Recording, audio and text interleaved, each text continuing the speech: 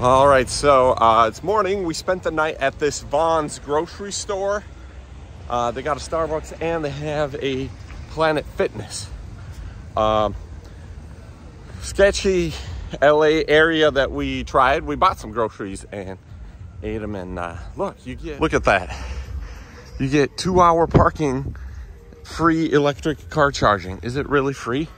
Maybe we should buy an electric car, put in the mechanism of the electric car charging in our motorhome, and then we could have electric batteries and a propulsion system that could give us a little extra boost for free, except we'd have all that extra weight. So the Trek, uh, the Trek Safari Trek Pathmaker Edition, that's what it is. It does have a solar panel, mystery solar panel on the roof, I noticed. Anyway, so it said no event parking because they got the stadium nearby but uh, it's not it's nothing that rained on our on our um, parade. So let's go inside, warm up the engine. Let's see here. Cold start. Cold start. Oh yeah. It's it's like in the 50s. look at that. Idled right up. Idled right up. So uh, we're gonna warm the diesel up while Basketball Princess gets done uh, washing her hair. Uh, we're really glad to go to Venice Beach. And uh, where else did we go? Um, Santa Monica Pier. So that was uh, world famous places. And Dasha really wanted to see those yesterday. So I'm glad that she was able to see that. Um, and I, I was happy to see that stuff too. How do I look in this shirt? It's it's chilly. It's chilly in in uh, LA.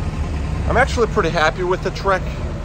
So big thanks for Alex uh, making it much straighter. We pulled out the frame and welded uh, the subframe. So underneath, frame-wise, it's good. Uh, we we fixed um, the, the bumper frame was bent. The bumper slid in a little bit. There's like bolts that hold it, and they have like longer um, longer holes, and it just kind of slid in.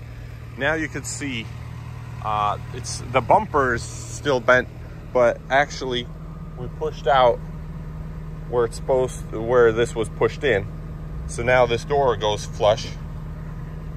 Um, I have it loose because I don't have the key for that for the lock, so we just twist the handles to unlock that. Uh, it's got a nice inverter, so I don't know. Sh should I show you?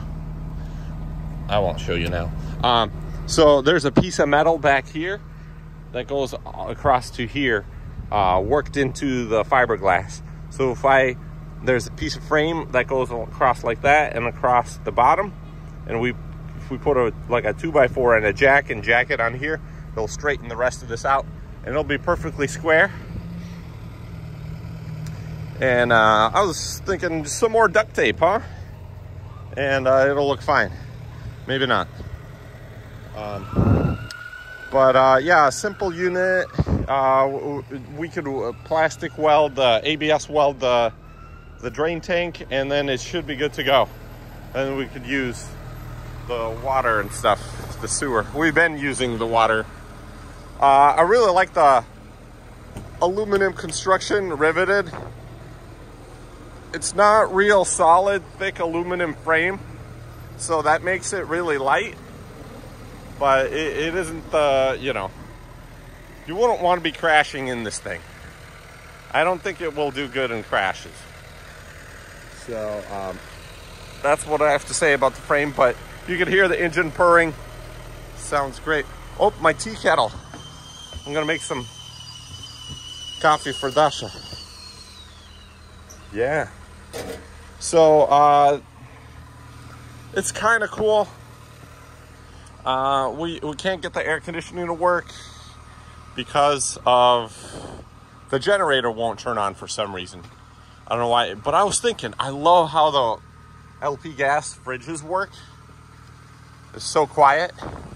What if I just replace this door with just like a little uh, radiator there and a little fan and it'll just blow cold air out of there.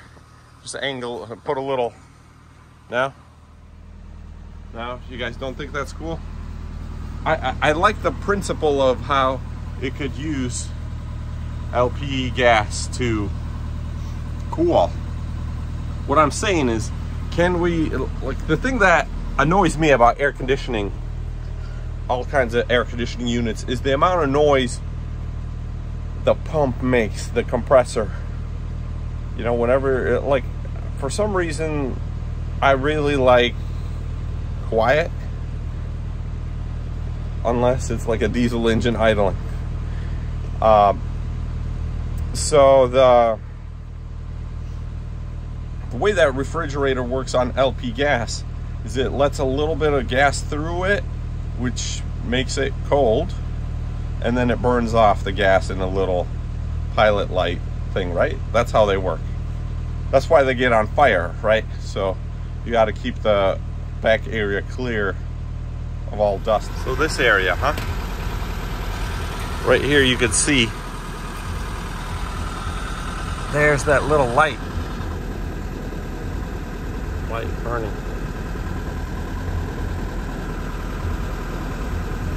The little blue flame. So, uh, oh, I wonder what it's supposed to say. Why is there water in there, huh? Is that where the water drips and leaks out, or what? I should look at a manual for this. Anyways, it runs on 12 volts and 110. Um, yeah. So my question is, could you make, could you get like five of those refrigerators and make a giant air conditioning unit that runs on propane? Wouldn't that be cool? Would that be efficient? Is there such a thing as propane air conditioning. I'm to research that.